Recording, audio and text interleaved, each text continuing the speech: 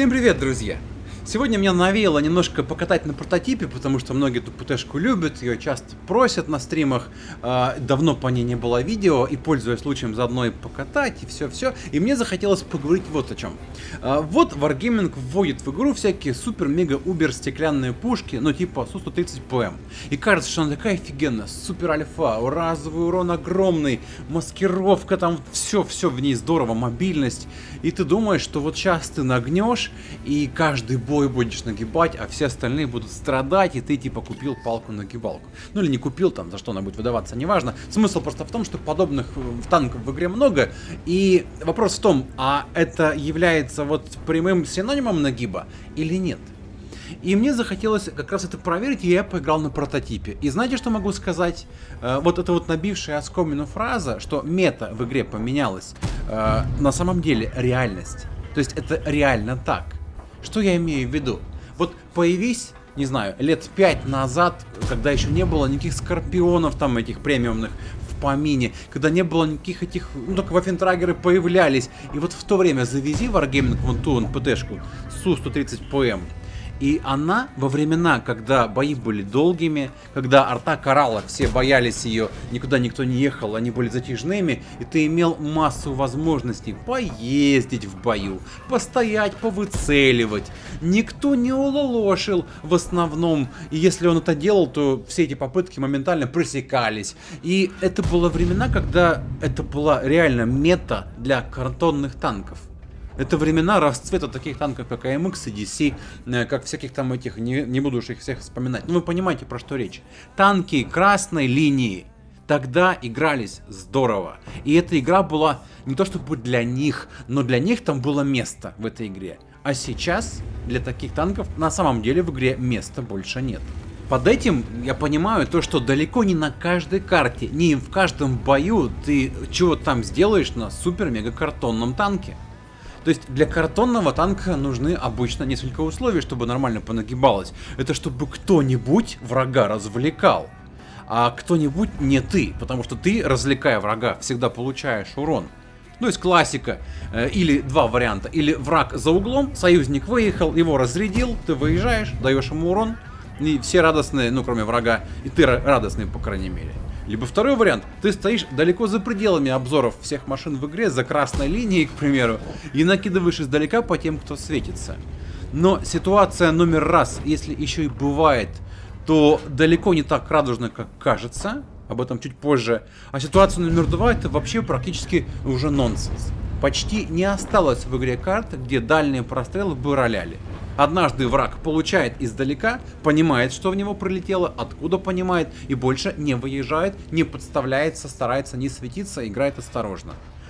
А, а первый вариант, когда типа враг развлечен союзником, обычно приходишь к тому, что куча на кучу везде.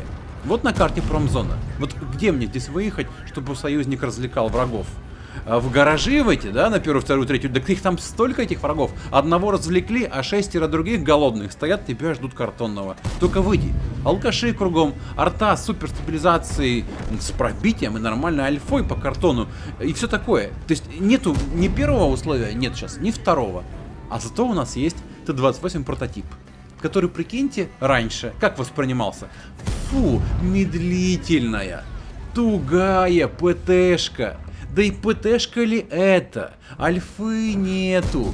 И вот все вот так у него не очень. Точность не имбовая.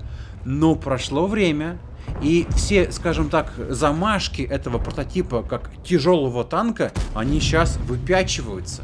Этой ПТ практически не нужен какой-нибудь, ну типа, аккомпанемент, знаете, какой-нибудь союзник, который ей бы там что-нибудь танчил. Она сама бронированная. Ну, я думаю, уж не буду показывать в 101 раз слабые места брони прототипа, все их видели, но лоб корпуса не пробивается даже голдой восьмых уровней. Ну, пусть не каждого, ладно. Лоб башни тоже крепкий. Единственное, только сами вот эти полусферы башни по бокам и щеки, они пробиваются любым и каждым, но их еще нужно повыцеливать, и издали попадешь не каждым выстрелом.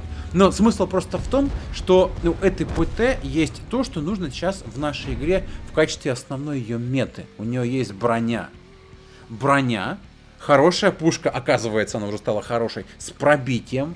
Пусть маленький урон, зато частый, ДПМ фантастические. Углы склонения налево-направо башня поворачивается здорово и отлично. Если раньше мы боялись, вот сейчас пролетит легкий танк, тебя закрутит. Ситуации, когда реально это случается в бою, да, в конце боя какого-нибудь 10-минутного, они настолько редки, что чаще всего тебя не это парит. А ты выезжаешь каждый раз на столкновение лоб в лоб с врагами, и кто кого. И вот в этой как бы драке кулачной, без этих ваших там пистолетов, да, вот приемов, тут просто реально как будто каждый бой это кулачный. И ты выезжаешь, отбил, нанес, отбил, нанес. Только так и выживаешь сейчас. Только такие танки в наши эти непростые пятиминутки, а может быть даже трехминутные бои, только они и способны быстро и эффективно расчленять. Иными словами, Т-28 прототип и подобные машины сейчас фантастически хороши. Всякие там эти Т-95 прекрасный танк. Ну, может быть, Т-28 сложноватый, потому что у него, ну, все-таки совсем э, плохие УВН, и броня не такая, что прям вот совсем быть здоровской, но он тоже неплох. Любой бронированный танк с хорошей пушкой сейчас и без скорости как таковой, это не приговор, как было раньше. Раньше Маус, да ну, Леопард 1, вот это вот был танк. А сейчас Type 5 Heavy, Маус. Всякие любые другие медлительные танки с броней, это все, что нужно звезде рок-н-ролла. Ты подъезжаешь к уголку, выставился, и пока тебя пытаются пробивать, ты стараешься это делать то же самое, да и каждым выстрелом. Точность, ДПМы, пробитие, оно все играет, конечно, важную роль, но с точки зрения всех этих танков, оно у них уже у всех по умолчанию есть, там совсем слабых там машин ведь нету, и супер-мега бронированных, по крайней мере, на высоких уровнях, и ты доволен. Очень часто мне говорят, что типа ты вот постоянно хвалишь дешевый э, прем 8 уровня М4 А1 Revolver Z, а на нем играть непросто. И такие же игроки наверняка очень плохо играют на Скорпионе Г и так далее и тому подобное. И все лишь дело в том, что они не умеют играть на стеклянных пушках, потому что здесь действительно нужно умение гораздо больше, чем кажется. Только на первый взгляд думаешь, о, какая клевая большая альфа Скорпиона Г 490 или у Су-30 ПМ там целых аж 520 и всем хана. Так ты один-то раз выстрелишь а там уже будет классика, как на моем любимом Су-100Y. Танк двух выстрелов. За первый выстрел ты, если еще успел отъехать, у тебя пол хп осталось от того, что тебя все разгрызли, а за второй выстрел, который ты, возможно, сделать уже не успел, тебя добивают окончательно. И вот так играются на всех других сейчас стеклянных ПТшках в основном. Какой бы ни был навык, ты все равно замечаешь. Играть на бронированных танках проще, потому что у них самое главное, что есть, это универсальность паре карт, которые встречаются нечасто, Прохоровки, Малиновки, э, это проблемка, что они медленные, пока доедешь, там, пока это, пока то. Но в основном карты такие, как вот это вот, смешанные, либо городские. Энские Химмельсдорфы, пожалуйста, и так далее.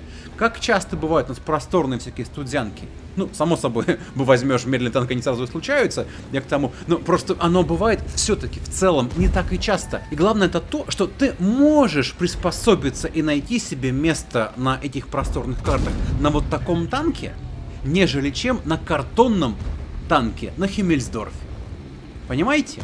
Частота, с которой ты можешь нагибать на вот таких более универсальных машинах, она значительно выше, чем у якобы имбовых, но картонных танков.